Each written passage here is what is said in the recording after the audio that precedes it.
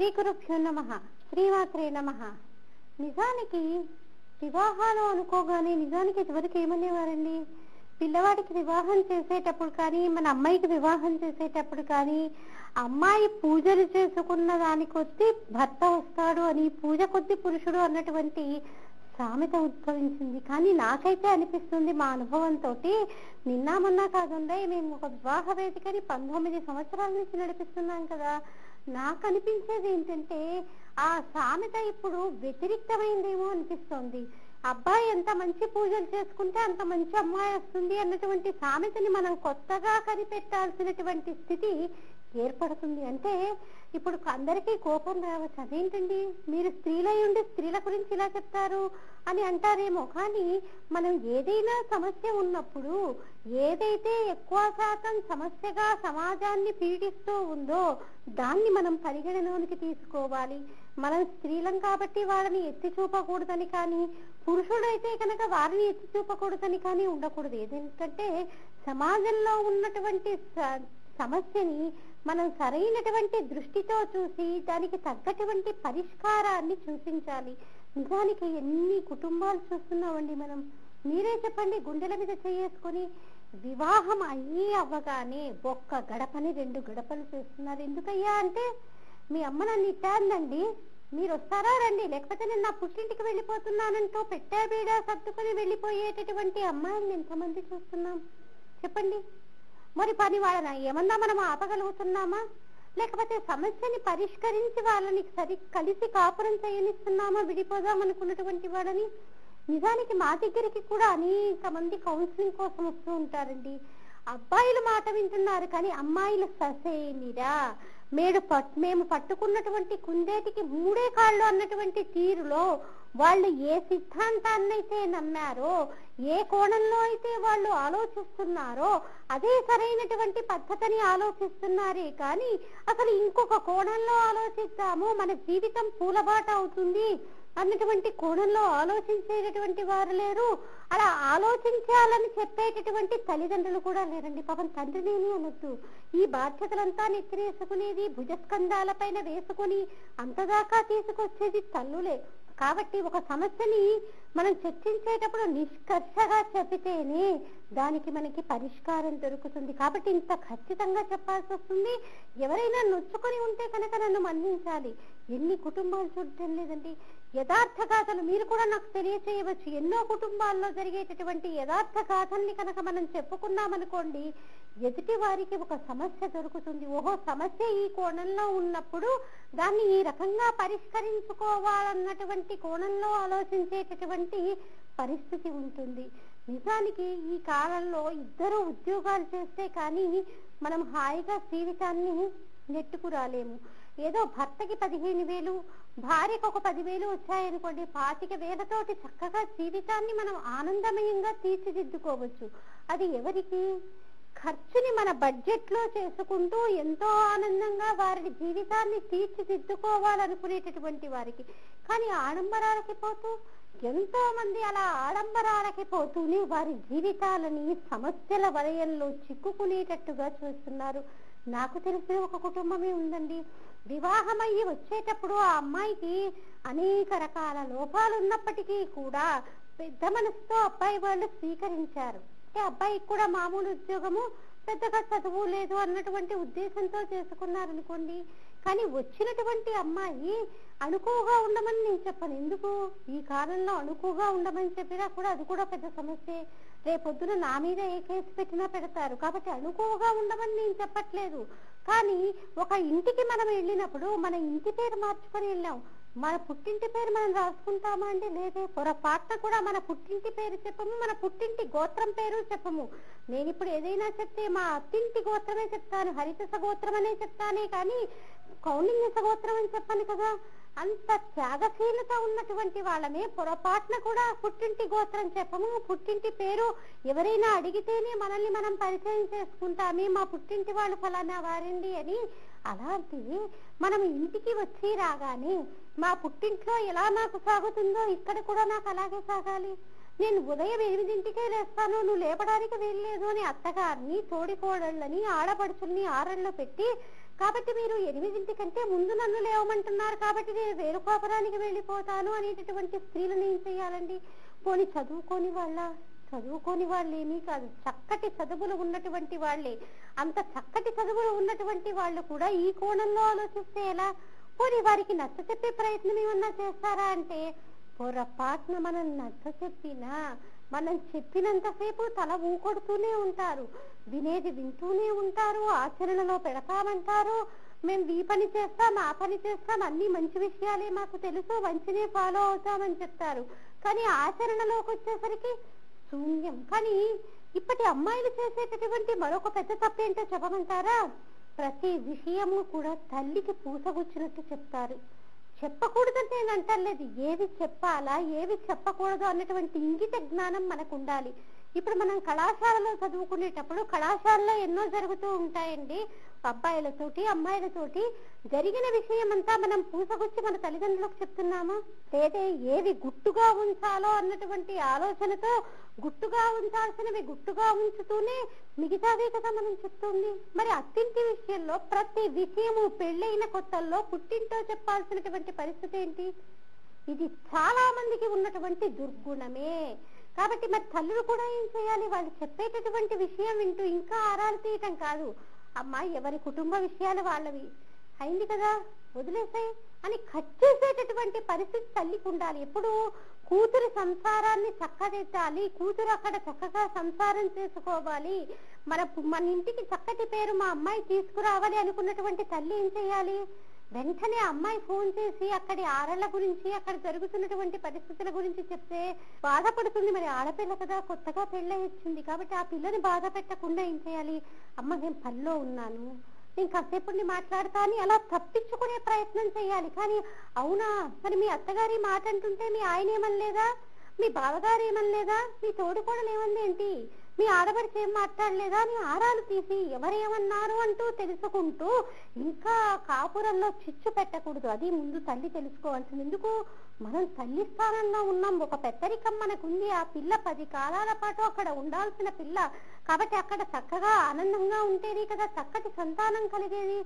ఆ అమ్మాయి ఎంత ఆనందంగా ఉంటే మనకి అంత ఆనందమే కదా. అలా కాకుండా మనము ప్రతి విషయాన్ని కూడా భూతద్దంలో చూసి ప్రతి విషయాన్ని ఆ అబ్బాయికి ఒక సిగరెట్ అలవాటు ఉందనుకోండి ఆ సిగరెట్ అలవాటుని భూతద్దంలో చూసి రేపొద్దున పిల్లలు కూడా పుట్టరేమో క్యాన్సర్ కూడా వచ్చేస్తుందేమో వాడు పోతాడేమో వాడి పోతే దీని గతి ఏమిటి? పెళ్ళైన కొత్తల్లో ఇవన్నీ ఆలోచించాల్సిన విషయాలేనండి? ఒకసారి మీరే ఆలోచించండి. ఏ ఏ తల్లులు ఎంతమంది తల్లులు ఇలా ఆలోచిస్తున్నారో మనందరికీ తెలిసినటువంటి విషయమే. ప్రతిదీ కూడా భూతత్వంలో చూడటం.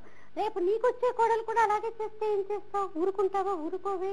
కాబట్టి మనం ఏం చేయాలి తల్లులుగా? ఆడపిల్లలు సక్రమంగా సంసారం చేసుకోవాలి అంటే అమ్మా ఎవరి కాపురం వాళ్ళది ప్రతి సమస్యని ఇలా చిరవలు వలవలు చేసుకోకు. ప్రతిదానికి సర్దుకుపోవటం నేర్చుకో అమ్మా. నేను ఇలా కష్టపడ్డదాన్ని. నీకు తెలిసిందే కదా మీ నాన్నగారితో నేను ఎంత వేదన అనుభవించాను. మీ నాయనమ్మ ఎంత ఈ వేదన అనుభవించిందో తెలిసిందే కదా. మీ అమ్మమ్మ ఎన్ని బాధలు పడిందో మీ తాతగారితో తెలిసిందే కదా. ఇంతమందివి ఇలా బాధపడుతూ కూడా కాపురాన్ని నెట్టుకొచ్చామే. అందుకే కదా ఇప్పటికీ కూడా ఇటుపక్క వాళ్ళు అటుపక్క వాళ్ళు ఇంతమంది మన ఇంటికి వచ్చిపోతూ ఉన్నారు. కాబట్టి ఆడగాన్ని ప్రవర్తన బట్టే బంధుజనుల యొక్క రాకపోకలు ఉంటాయమ్మా అని కనుక మనం తల్లి ఆడపిల్లకి సర్ది చెప్తే ఆ పిల్ల ఎందుకు వినదండి? పిల్లలు వింటారు మనం చెప్పకపోవటమే. ఏ ఆ తల్లి ఆడపిల్ల కనుక ఏదైనా సమస్య వచ్చి వివాహమైనటువంటి కొత్తల్లో పుట్టింటికి వస్తే తప్పమ్మా ఇక అక్కడే నీకు సర్దుకుపోని ఎవరని చెప్తున్నాను చెప్పండి?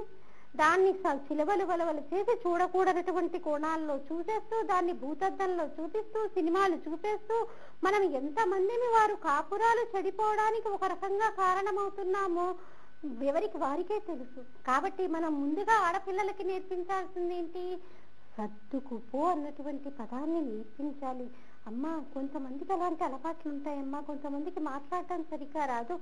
కొంతమందికి చూడటం సరిగ్గా రాదు. కాబట్టి నువ్వు సర్దుకుపోమ్మా అని చెప్పాలి. అంతేకాని ఈవిడ భూతద్దల్లో చూసేసి కూతురు భూతద్దల్లో చూస్తే ఇంకా సంసారం ముందుకు ఎలా వెళ్తుందండి మనకు వచ్చే ఆదాయమేమో పదిహేను వేల. మనం ఖర్చు పెట్టేదేమో యాభై వేలకు సరిపడ రాబడి ఉండేటటువంటి వాళ్ళు ఎంతైతే ఖర్చు పెడతారో అంత ఖర్చు పెడతామా? అలా అని డబ్బు తీసుకురాలేదని మొగుడిని రాసి రంపాన పెడుతూ గరిటెలతో కొట్టమా ఎన్ని కుటుంబాల్లో మనం చూడటం లేదండి? పాపం మగవాళ్ళు నిజంగా చెప్పుకోలేక వాళ్ళు మగ్గిపోతున్నారు. అందుకే కదండి మొన్న సుప్రీంకోర్టు కూడా సంచలనాత్మకమైనటువంటి తీర్పు ఇచ్చింది. గృహహింస అనేది మొన్నటి వరకు మన స్త్రీలకి మటుకే ఉండేది. కానీ ఆ గృహహింస చట్టాన్ని ఇప్పుడు పురుషులకు కూడా అనువర్తిస్తున్నారు ఎందుకు అనువర్తించాల్సి వచ్చింది సుప్రీంకోర్టులో కూర్చున్నటువంటి వాళ్ళేమి చిన్నవాళ్ళు కాదే. ఎంతో వయసు వయసు ఉన్నటువంటి వారు ఎంతో జ్ఞానం ఉన్నటువంటి వారు. మరి ఈ కు- పరి- ఈ యొక్క సమస్య ఎంత తీవ్ర దృష్టిని దాలిస్తే గృహహింస అన్నది కూడా పురుషులకు కూడా వర్తిస్తుంది అని చట్టమే తీర్పిచ్చింది. అది అత్యున్నత న్యాయస్థానం సుప్రీంకోర్టే అలాంటి తీర్పు ఇచ్చిందంటే మనలో సున్నితత్వం అనేది తగ్గిపోయి రాను రాను కాలానుగుణంగా మనం కూడా యాంత్రికంగా మారిపోయి సామాన్యంగా స్త్రీలకు చాలా సున్నితత్వం ఉంటుంది. సునిత సునిశ్చితమైనటువంటి తత్వము ఉంటుంది. అందుకే కదా భూదేవిని స్త్రీలతో పోల్చటము అలాంటివన్నీ కూడా తొలగిపోయి మనలో కూడా హృదయంలో కూడా పాషాణంగా మారిపోతుందా? యాంత్రికంగా తయారైపోతుందా? అంతలా హింసించటం ఏంటండి భర్తని? అనరాని మాట అనడం. అసలు మనకి శాస్త్రం ఏం చెప్తోంది? మీరు శాస్త్రాన్ని పట్టించుకోండి పట్టించుకోకపోండి. మీకంటే వయసులో పెద్దవాడే భర్త అంటే మనకంటే చిన్నవాడిని తీసుకొచ్చి మొగుడుగా చేయరు కదా.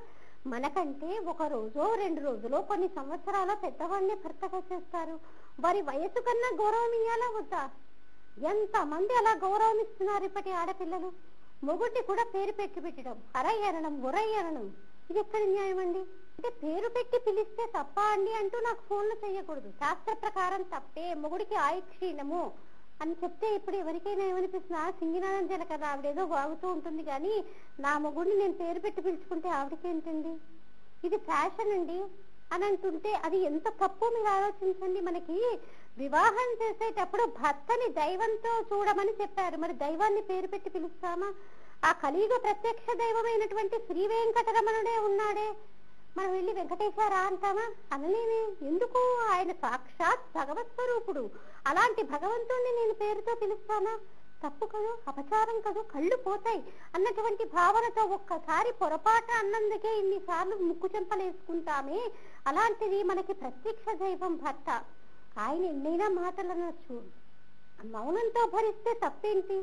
పైగా మౌనంతో భరించకపోగా భర్త ఒకటంటే పది మాటలంటూ శూలాల్లాంటి మాటలతో అతన్ని పొడుచుకు తింటే అతని వయసుకి నువ్విచ్చే గౌరవం ఏంటి నిజానికి పురుషుడికి ఉన్నటువంటి ప్రత్యేకమైనటువంటి అర్హత ఏంటో తెలు- తెలుసా అండి? నిజానికి మనకి మనం ఆశీర్వదించుకోగలుగుతామా? నేను నూరేళ్ళు చల్లగా ఉండాలని నేను నేను ఆశీర్వదించుకోగలుగుతానా? లేదే. కానీ ఎప్పుడైతే నేను నా భర్తకి నమస్కరిస్తానో అప్పుడు ఆయన నన్ను ఏమని ఆశీర్వదిస్తాడు? దీర్ఘ సుమంగళీ భవ అని ఆశీర్వదిస్తాడు అంటే దీర్ఘ సుమంగళీ భవ అని ఆశీర్వదిస్తే ఏంటి? ఆయన పది కాలాల పాటు ఉండాలి. ప్రతి స్త్రీ ఎంత రాక్షసి అయినప్పటికీ కూడా ప్రతి స్త్రీ కోరుకునేది ఏంటండి? తన యొక్క సౌమాంగళ్యానికి ఎప్పుడు కూడా తప్పుగా ఊహించుకోలేదు ఏ స్త్రీ అయినా. అంటే ఇప్పుడంటే మనకి బొట్టక్కర్లేదు మెడలో మంగళసూత్రాలు అక్కర్లేదు కాలికి మెట్టలు అక్కర్లేదు. అసలు గాజుల విషయం ఎప్పుడో వదిలేసాం అనుకోండి అసలు ఇవేదే అక్కర్లేకుండానే తిరుగుతూ ఉన్నాము. కానీ ప్రాణం కంటే పదిరంగా కాపాడుకునేది ప్రతి స్త్రీ కూడా మన భారతదేశపు స్త్రీ ఏంటి? తన యొక్క సౌభాగ్యం కోసం ఆలోచిస్తుంది. పసుపు కుంకాల కోసం ఆలోచిస్తుంది. ఎంత దూరమైనా కానీ పసుపు కుంకాలు పంచి పెడుతున్నారంటే పది ఆమెడల దూరం పరిగెత్తుకొని వెళ్తుంది. ఎందుకు? ఈ యొక్క అర్హత జీవితాంతం ఉండాలని. ఆయన కళ్ళెదుట నేను కన్ను మూయాలని ప్రతి భారతదేశపు స్త్రీ కూడా స్వీకరణ శుద్ధిగా కోరుకుంటుంది. మరి ఆ దేశంలో పుట్టినటువంటి వాళ్ళం సరిగ్గా బొట్టు పెట్టుకోక భర్తని అవమానపరుస్తూ ఇష్టం వచ్చినట్లు నిందిస్తూ ఎందుకు పనికిరాని వాడివి అంటే ఇక నీ యొక్క పాతివ్రత్య ధర్మం ఏముంది? నువ్వు ఇక ఆయనకి భార్యగా ఉండడం ఎందుకు? అనవసరం. నువ్వు ఎక్కడ ఉన్నా కానీ ఆయన్ని అవమానిస్తూ ఇష్టం వచ్చినట్టు తిరుగుతూ ఉంటే కొడుతూ ఉంటే ఇంకా నువ్వు నీ భార్యాత్వం ప్రశ్నించబడుతుందా లేదా? నువ్వు ఏం చేసినప్పటికీ కూడా నలుగురిలో నీకు గౌరవం ఉంటుందా? ఉండదే. ప్రతి ఒక్కరూ కూడా ఈ విషయాలను చర్చించుకుంటూ ఉంటారు కదా. వంద ఇళ్ళల్లో పదిహేను ఇళ్ళు ఈ రకంగానే ఉన్నాయండి నేటి కాలంలో. ప్రతి భార్య కూడా తన భర్తని ఈ విధంగా బాధిస్తూనే ఉంది. నాలుగు గోడల మధ్య జరిగేది ఎవరికి తెలియదు అనుకుంటారే కానీ తెలియదుటండి. పక్క వాళ్ళు వింటుంటారు వెనక వాళ్ళు వింటుంటారు బాబాయ్ ఆవిడే అండి గయ్యాళి అనేసి చెప్పుకుంటారు. పైగా అందరూ పురుషుడి గురించి ఏమనుకుంటారో తెలుసా? ఆ ఆయన ఏముందండి ఇంట్లో పిల్లి వీధిలో పిల్లి అంతే. ఆయన ఊరికే ఈయన యొక్క దాంబికమంతా అంతా కూడా ఎక్కడ గడప దాటాకే ఇంట్లో ఉంటాయన కుక్కిన పేరండి. నోటిలో నుంచి మాట ఉండదు. కాఫీ కూడా అడగడు పెళ్ళానికి. తల్లి దగ్గరకు వచ్చి కాఫీ తాగుతాడు అని ఎంతో మంది చెప్పుకుంటూ ఉంటారు. అంటే ఎంత నీచమైనటువంటి స్థితిలో మనం ఉన్నాం చెప్పండి. అంటే మన ప్రవర్తనని మనము సరళీకరించుకోవాలి. ఇది సరిదిద్దాల్సినటువంటి బాధ్యత ఎవరిది ఆ పిల్ల తల్లిది. నేను వెళ్ళి ఆ పిల్లని నా ఉండమ్మా అంటే ఆ నీకేం పట్టిందమ్మా? నువ్వే దారిని పోయి దానేవి. నువ్వే వచ్చి నాకు చెప్పేది ఏంటి అంటుంది. మరి ఇది సరిదిద్దాల్సినటువంటి బాధ్యత? తల్లిదే సీతమ్మ తల్లి చెప్పింది. అనసూయమ్మ వాళ్ళు అరణ్యవాసానికి వెళ్ళినటువంటి సమయంలో సీతారామ సహితంగా సీతమ్మ తల్లి అనసూయాత్రి మహర్షి ఆశ్రమానికి వెళ్తుంది. అమ్మ సీతమ్మ నువ్వు ఎంత కష్టపడుతున్నావు? మీ మావగారైనటువంటి దశరథ మహారాజు గారు రామచంద్రమూర్తిని అరణ్యవాసానికి వెళ్ళనమ్మన్నప్పుడు నీకేమీ బాధ అయ్యలేదా ఆయనతో నువ్వు అరణ్యవాసం చేస్తుంటే నీకేమైనా కష్టం కలిగిందా? ఇంత పాతివ్రత్య ధర్మాలను నువ్వు ఎక్కడ నేర్చుకున్నావమ్మా అని అనసూయమ్మ అడిగింది. అనసూయమ్మ అడిగినప్పుడు సీతమ్మ తల్లి చెప్పినటువంటి సమాధానము మనకందరికీ కూడా శిరోధార్యం. అప్పుడు సీతమ్మ తల్లి చెప్తుంది అమ్మా నా రామచంద్రమూర్తిలో వెతికి చూద్దామన్నా కూడా ఒక్క లోపం లేదయ్యా లేదమ్మా. ఆయన పుంసామోహన రూపాయ పుణ్య శ్లోకాయ మంగళం. పురుషులు కూడా ఆయన్ని మోహించేటటువంటి సౌందర్యం ఉన్నటువంటి వాడు నా రామచంద్రమూర్తి. కానీ ఆయన తనకై తాను ఒకటి నిర్మించుకున్నారు. ఏకపత్ని వ్రతం అనేటటువంటి వ్రతాన్ని నిర్మించుకొని ఎంతో మంది స్త్రీలు ఆయన్ని వివాహం చేసుకుంటానన్నా కూడా ఆయన కాదు అని ఏకపత్ని వ్రతాన్ని అవలంబించాడమ్మా. ఆయన సుగుణాల రాసి తండ్రి మాటకి కట్టుబడి అంతటి రాజ్యాన్ని వదులుకొని వచ్చాడు. అంతటి మహనీయుడికి భార్యనయ్యాను. నాకు రామచంద్రమూర్తి ఎక్కడ ఉంటే అదే నాకు అంతఃపురము. అంతేకాని ఆయన అడవుల్లో తిరుగుతూ ఉంటే నేను అంతఃపురంలో ఉంటే నాకు అది కూడా అడవేనమ్మా అని అప్పుడు అనసూయమ్మకి చెప్పింది. అంటే ఏంటి? ఇప్పుడు మనం ఏం చేస్తున్నాము? ఆడపిల్లలు ఏసీ లేదనుకోండి. ఇక ఎండాకాలం అంతా భర్తని రాచి రంపాన పెట్టడమే. మా పుట్టింట్లో మేము ఏసీలో పడుకుంటాం. నువ్వు నీ మొహం మండ నువ్వు కూలర్ తీసుకొచ్చావు. ఈ కూలర్లో నేను నిద్రపోలేకపోతున్నానని తాను నిద్రపోక భర్తని నిద్రపోనీక నానా రగడ చేస్తూ మనశ్శాంతి కరువై ఇలా ఉండడం ఏంటి? ఏదో తాపాన్ని తట్టుకోలేనప్పుడు కాసేపు అనుకోవడంలో తప్పులేదు చికాకు పడ్డంలో తప్పులేదు.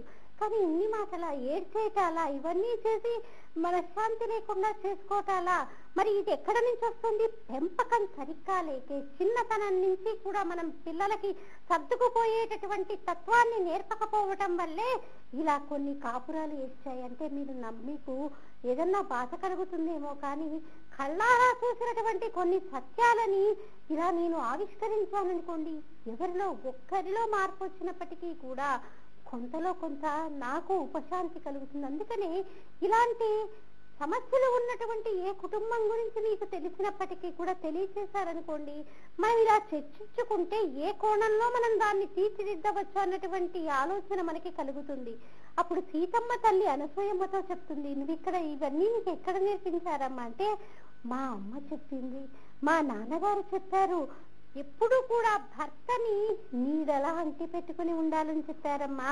అందుకనే ఆయనకి కష్టంలో సుఖంలో నేను తోడుగా ఉన్నాను అని సీతమ్మ తల్లి చెప్పింది. ఆనాడే కనుక సీతమ్మ తల్లి రాముడు అరణ్యవాసానికి వస్తుందంటే వస్తూ ఉంటే ఆ మీ నాన్న ఏదో మాటిచ్చాడని నువ్వు అరణ్యానికి వెళ్తా అన్నావు. నీతో రావాల్సిన కర్మ నాకేంటి? నా తండ్రి జనక మహారాజు గారున్నారు. ఆయన విదేహ వంశపు రాసు నేను నీతో ఏం అరణ్యానికి రానయ్య బాబు. నీ దోవన నువ్వు పో నువ్వు చేతకాని వాడివి కాబట్టి నువ్వు నీ తండ్రి ఇచ్చినటువంటి మాట కోసం అరణ్యానికి వెళ్తున్నావు. కాబట్టి నేను కష్టాలు పడాల్సిన అవసరం ఏముంది నీతో పాటు నేను కష్టాలు పడాల్సిన అవసరమే లేదు. నేను నా పుట్టింటికి వెళ్తున్నాను. లేకపోతే ఇక్కడే ఉండి నేను అంతఃపుర సుఖాలను అనుభవిస్తాను. నీ దారిన నువ్వు పో అంటే మనం ఇప్పటికీ రామాయణాన్ని అంత ఆర్తిగా చెప్పుకునే వాళ్ళమా? ఆ సీతామహాతల్లి గురించి ఇంతలా చెప్పుకునే వాళ్ళమా లేదే మనకి పాతివ్రత ధర్మాన్ని చూపింది ఆ తల్లి? భర్త కష్టంలో ఉంటే నువ్వు వెన్నట్టే ఉండు. నీవు అది నీ యొక్క చిరునవ్వే ఆయనకి ఔషధంలా పనిచేసి ఎన్నో విజయాలని సాధించగలుగుతాడు అని తేల్చి చెప్పినటువంటి మహాశాస్త్రి ఆ తల్లి. అందుకే మనము సీతమ్మ అని కూడా కాదు సీతమ్మ తల్లి అంటాం. ఎందుకు? ప్రేమ అమ్మ మాకందరికీ కూడా ఒక బాట చూపించావమ్మా. పాతివృత్య ధర్మంలో ఏ రకంగా అవలంబించాలో మాకు తెలియచేశావు అంటూ ఆ తల్లిని ఇంకా ప్రేమ మీదుగా అమ్మ తల్లి నువ్వు ఎన్ని కష్టాలు పడకూడనటువంటి స్థితిలో ఉన్నప్పటికీ ఆ తల్లి సాక్షాత్ లక్ష్మీ స్వరూపిణి. అలాంటి తల్లి కూడా ఎన్ని కష్టాలు పడిందండి. వనవాసంలో మాటల రావణాసురుడు అనేటటువంటి ప్రతి మాట కూడా వింటూ అలా కూర్చుంది అంటే ఆ తల్లి యొక్క మహాపాతివ్రత్యమే. ఎందుకంటే ఆవిడ పాతివ్రత్య ధర్మానికి ఒక్కసారి ఆ తల్లి ఎర్ర ఎర్రకన్ను చేసిందనుకోండి రావణాసురుడు ఏనాడో నిహతుడైపోయేవాడు కానీ ఆ తల్లి ఎందుకు ఎర్రకన్ను చేయలేదు? రామచంద్రమూర్తి యొక్క ఆజ్ఞ లేదని. రాముడు లేకుండా రావణాసురుడు అపహరించాడు. రావణాసురుడు లేనప్పుడు హనుమంతుడు తీసుకుని రామచంద్రమూర్తికి తీసుకుని వెళ్తానన్నా రాను అని చెప్పింది. కాబట్టి ఆ పాతివ్రత్య ధర్మాలని మనం నేర్చుకోవాలి. భర్త ఎంత చేతకాని వాడైనా ఆర్థికంగా ఆయనకి ఎంత ఉందో అంతలో సుఖపడుతూ తాను సుఖపడుతూ తనని సుఖపెడుతూ ఉండటంలోనే ఆనందం ఉంటుందండి. ఇలా గొడవలు పడటం వల్ల ఉపయోగం ఏమన్నా ఉందా చెప్పండి? ఇటు భార్యాభర్తలిద్దరికీ కూడా మానసిక బాధ. ఈ వీళ్ళిద్దరికే కాదు వీళ్ళు పడ్డ గొడవ తెలుసుకున్నటువంటి అటు వాళ్ళకి ఇటు వాళ్ళకి కూడా బాధ. అంటే అమ్మాయి తరఫు వాళ్ళకి పెద్దగా బాధ ఉండదులేండి. ఎందుకంటే వాళ్ళే కదా నేర్పించేది. వాడే నిన్ననడానికి వాడు ఇలా అంటే నువ్వు వెళ్ళిపోయి హాస్టల్లో ఉండు. వాడు ఇలాగే ప్రవర్తించాడనుకో నువ్వు బస్సు ఎక్కొచ్చేసాయి లేకపోతే రైలు ఎక్కొచ్చేసాయి లేకపోతే కారులో వచ్చేసాయి. కారుకి ఎంత అవుతుందో అంత నేను ఇస్తాను. నాకు డబ్బు ఉంది కదా అని నేర్పించేటటువంటి తల్లిదండ్రులనే చూస్తున్నామే కానీ అమ్మ అది కాదు. ఇలా ఉండి ఇలా నేర్పించుకో భర్తకి ఇలా సర్దుకుపో అంటూ నేర్పించేటటువంటి కుటుంబాలను నాకు చూపించండి. మీరు ఒక్క కుటుంబాన్ని చూపించినప్పటికీ కూడా నిజంగా ఆ కుటుంబానికి చేతులెత్తి మనం నమస్కరించవచ్చు. అందరూ కూడా ఎవరిని చూసినా వాడితో నీకెందుకమ్మా? హాయిగా హాస్టల్కి వెళ్ళి ఉండు. నీ దారిన నువ్వు బతుకు అని చెప్పేటటువంటి మేధావులు అది ఎవరో కాదు మూడో మనిషి కాదు తల్లి తండ్రులే చెప్తూ ఉంటే ఈ అమ్మాయి కాపురాన్ని కానీ జీవితాన్ని కానీ బాగు చేసేది ఎవరు? ఈ రెండు బాగు చేయని వాళ్ళని ఇంకా సమాజాన్ని ఏం బాగు చేస్తాం ఎందుకంటే ఒక కుటుంబ వ్యవస్థతో సమాజం అంతా కూడా ఆధారపడి ఉంటుంది. అలాంటిది ఒక కుటుంబాన్ని మనం బాగు చేయలేనప్పుడు ఇక సమాజాన్ని ఎలా ఉద్ధరించగలుగుతాం చెప్పండి? ప్రతి విషయానికి సగవు పెట్టుకుంటూ కాలు పెట్టిన తోడే కాంతుని మెడవిరిచి నిండు సంసారంబు రెండు చేసి తన మగుడెంత అర్చనాపురుడైన పొరిగింటి పుల్లంబ కాపురంబు మెచ్చి పట్టరాక పెనిమిటి ఇది అట్టుల ఎన్న బావికిని ఏటికిని పరిగెత్తటి కాంపుర కాంతతోటి కాపురంబు కంటే వేరే నరకంబు కలదే అని ఒక మహాకవి చెప్పని చెప్పాడు. ఒక మాట అంటే ఏదో భర్త కోపంలో చికాకులో ఒక మాట అంటే పట్టి పట్టనట్టు వెళ్ళిపోయింది అనుకోండి ఆ కుటుంబం ఆనందంగానే ఉంటుంది. ఎందుకు? ఎప్పుడైతే ఇద్దరూ మాట మాట అనుకుంటారో అక్కడే రామరావణ సంగ్రామం జరుగుతుంది. కాబట్టి అలా అనకుండా భర్త పొరపాట్న ఒక మాట అన్నాడే అనుకో. ఇదే వెయ్యి మాటలంటే? నిజానికి చాలా మంది పురుషుల్ని మనం గమనించినట్లయితే ఎరా మీ ఆవిడతో మాట్లాడినా అని ఆడపడి జరిగిందనుకోండి ఎందుకే దాంతో? ఏదో ఈ రోజే కొంచెం మా- మామూలుగా నవ్వుతూ మాట్లాడింది. దాంతో నువ్వు ఈ మాట అన్నావే అనుకో రెండు రోజులు నీకు నిద్ర ఉండదు వారం రోజులు నాకు నిద్ర ఉండదు అని అనేటటువంటి సోదరులని మనం చూస్తున్నటువంటి రోజులు ఇవి. ఇది వరకు లేదా అండి ఇలాంటి తత్వం? ఇలా వరకు లేని పరిస్థితి ఇప్పుడు ఎందుకు వచ్చింది అని మనల్ని మనం ప్రశ్నించుకోవాలి కదా. అసలు సర్దుకుపోయే తత్వం లేకుండా ఎందుకు పోయింది అంటే ఆడవారికి ఆర్చన అన్నది ఉండకూడదు అని నేను చెప్పను. తప్పకుండా సంపాదించాల్సిందే. ఎవరి కాళ్ళ మీద ఒకళ్ళు ఎవరం మనం నిలబడాల్సింది. ఎందుకంటే మన కాళ్ళ మీద మనం నిలబడితే మనకి కూడా వ్యక్తిగతంగా ఉండేటటువంటి ఖర్చులకి మనం సంపాదించుకొని ఖర్చు పెట్టుకోవచ్చు. లేకపోతే మన తల్లిదండ్రులకు కానీ మన తోబుట్టువులకు కానీ ఏదైనా బహుమతులు ఇచ్చుకోవచ్చు. ఆ ఆర్థిక స్వాతంత్రం వేరేగా ఉంటుంది. ఆర్థిక స్వాతంత్రం అన్నది తప్పకుండా స్త్రీలకి ఉండి తీరాల్సిందే. కానీ శాస్త్రమే చెప్పిందండి అసలు స్త్రీకి ఆర్థిక స్వాతంత్రం లేదని ఎవరన్నారు చెప్పండి? మనకి శాస్త్రమే చెప్తుంది ఎప్పుడైతే వివాహమై ప్రధాన హోమం జరిగిపోతుందో భర్తకి ఉన్నటువంటి ఆస్తి కంటికి కూడా భర్త కంటే కూడా అధికారిని ఎవరు? భార్యయే.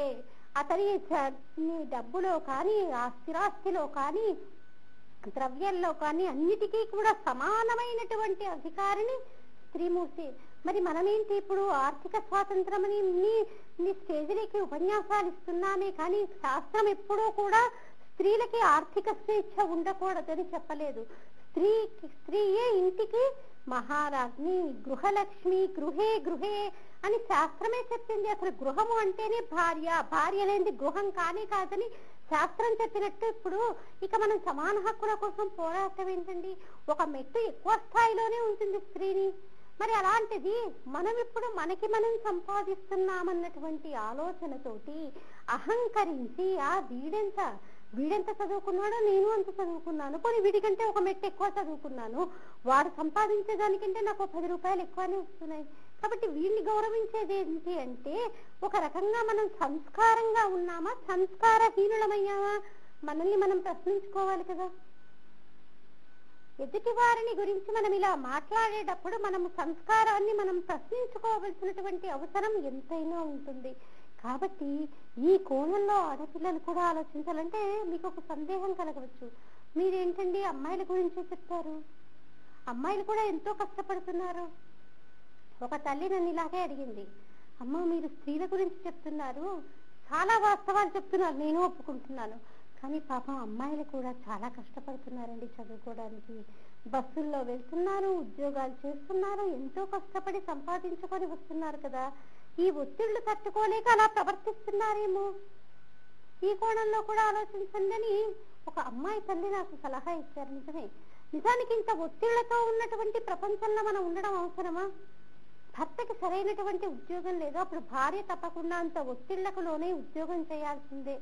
కానీ భర్తకి కూడా లక్షన్నర జీతం వస్తూ ఉంటే నిన్ను కూడా ఉద్యోగం చేయమని ఎవరు చెప్పలేదే? నువ్వు అంత ఒత్తిడికి లోని కుటుంబాన్ని నరకప్రాయంగా దిద్దుకోమని ఎవరు చెప్పలేదే? కుటుంబం ఎప్పుడైతే స్వర్గంగా ఉంటుందో అప్పుడే నీకు జీవితం అంతా కూడా ఆనందదాయకంగా ఉంటుంది. ఇది గుర్తిరిగి ప్రవర్తించాలి. ఇంకా ఇలాంటివి ఎన్నో అనుభవాలని మనం చూస్తూ ఉందామండి ఈ కార్యక్రమంలో. అలాగే మనం సామూహికంగా కాత్యాయని వ్రతాన్ని నిర్వహిస్తున్నామమ్మా. ఈ కాత్యాయని వ్రతాలు చేసుకున్నంత మాత్రాన వివాహ యోగ్యతకి జాతకంలో ఏవైనా ఆటంకాలు ఉంటే అవి తొలగింపబడతాయి.